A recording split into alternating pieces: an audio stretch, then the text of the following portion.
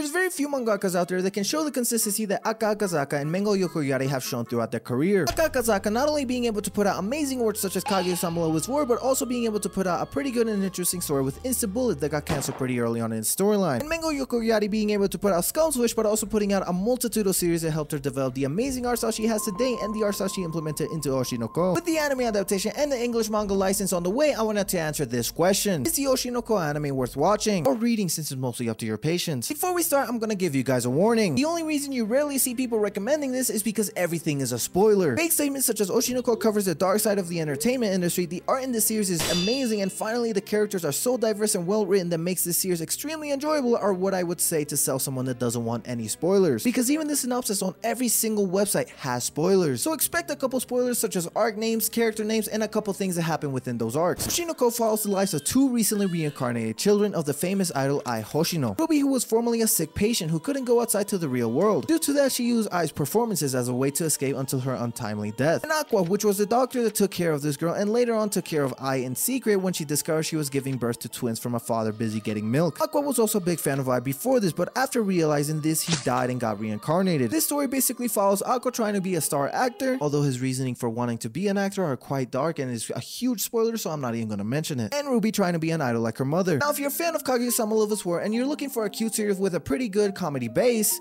Go back. I know this, this, and this cover makes it seem like a cute series, but sorry to tell you, it isn't. Yes, there's some comedy parts in the series, but it's mostly put to the side for the main focus, which is the struggles of someone in the public eye. One example being mangakas, which struggle with really tight schedules, leading to very unhealthy lives by skipping meals, having awful sleep schedules, and their apartments looking like an episode of Hoarders. This aspect of being a mangaka is shown through Abiko when her mentor Yoriko goes to visit her, and you get a pretty big picture to the struggles of a mangaka. Abiko getting two hours of sleep, her room being a total mess, and also Yoriko mentioning the pretty toxic relationship between editor and mangaka by talking about the two jobs of an editor. First to make a successful manga, and second to not let a successful manga end. And the reason I pulled this example specifically is because I'm pretty sure Aka Akasaka and Mengo Yokoyari are talking from experience. But this series explores many other jobs apart from this. Music, theater, YouTube, filmmaking, you name it, it's probably there. As far as the anime goes, it'll most likely cover anywhere from 3 to 8 chapters per episode, with maybe the first episode being an exception. If you know, you know. So there's two points within the story that I can see it ending without any episodes coming off as boring. Chapter 39, which is the end of the first concert arc and gives a dark side to an idol performance, which is what most people would expect to be a generic ending. And in addition, this chapter has a pretty good cliffhanger, assuming they're also aiming for a second season. The pacing of this version will see much like My Dress Up Darling's pacing, as the first season covered up to chapter 39 as well. The second endpoint will be chapter 66, which is the end of the 2.5D stage play arc, and in my opinion, this is one of the best arcs in the entire series, and also has a pretty massive cliffhanger. And this pacing will be similar to Demon Slayer's first season as it covered up to chapter 54. Now, some of you might be asking, why am I so confident in the studio that's making this? Doga Kobo's studio has been around since 1973, with the first animation work being Usho Kazoku Carl Vincent, and throughout time they've animated some pretty mid stories, but honestly speaking, these MAL ratings aren't their fault. But throughout time, they've definitely improved. Some anime that I've personally watched animated by Doga Kobo are How Heavy Are the Dumbbells You Lift, Wataten an Angel Flew Down to Me, Umaru-chan, Gabriel Dropout, Love Lab, and all of the new game series. And putting all the scores together from all of these shows, it comes out to 7.4. So yes,